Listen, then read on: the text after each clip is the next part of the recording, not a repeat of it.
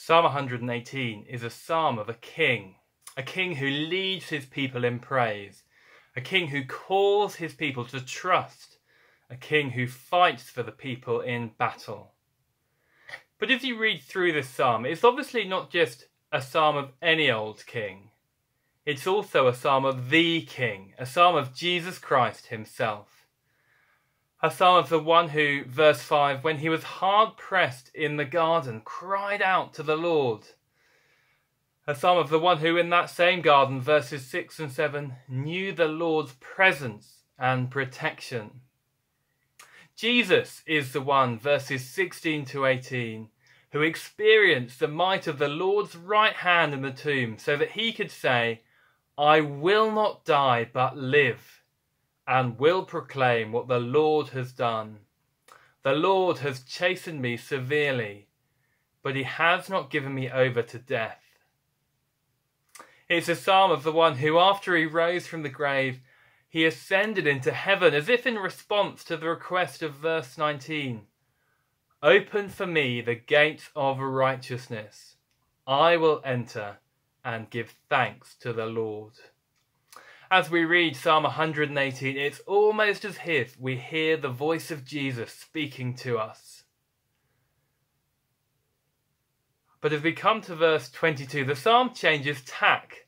No longer is the king speaking to his people, now his people are speaking about the king.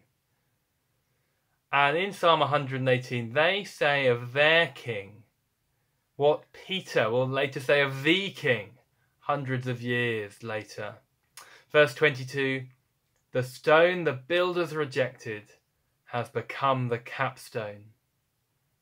And in Psalm 118, they acclaim their king with shouts that will be heard hundreds of years later on Palm Sunday, as the crowds welcomed King Jesus into the royal city of Jerusalem.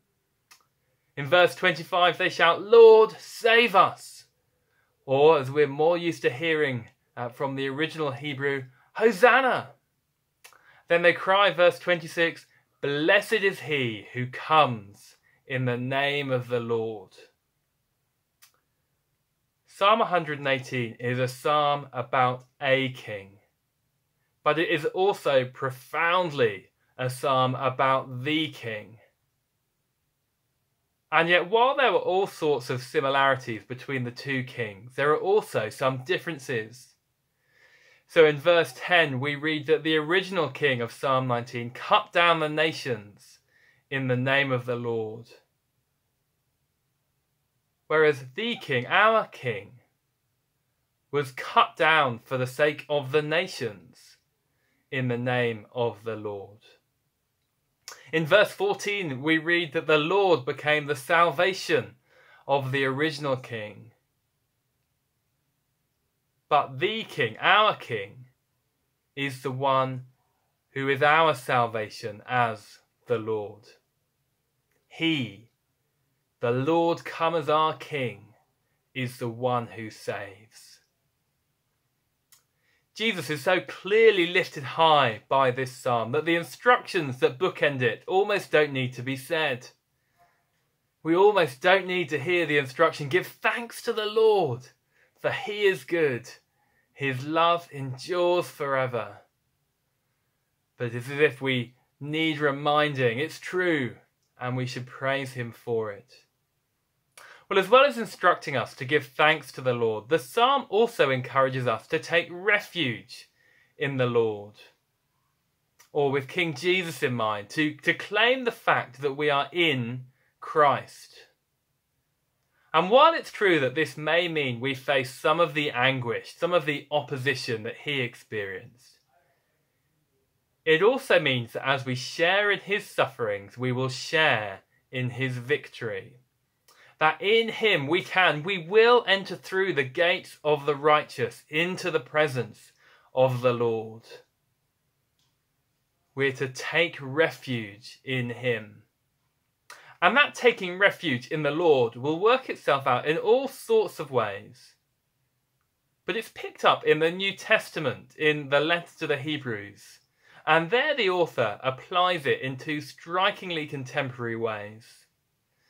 As he wraps up that letter in the final chapter, he uses verses 6 and 7 from Psalm 118 to call us to marital fidelity and financial contentment. He says, in effect, the Lord has been faithful to us. His love endures forever, so we can be faithful to one another. And because He is with us, we have all we need. We need not chase after financial gains. We can be content in Him. Well, that's how the author of the letter to the Hebrews applies that verse about finding refuge in the Lord. Let me leave you with a question to ponder as I finish. How could taking refuge in the Lord, how could claiming our status as those in Christ help you in other areas of life? Have a think and pile in with comments below.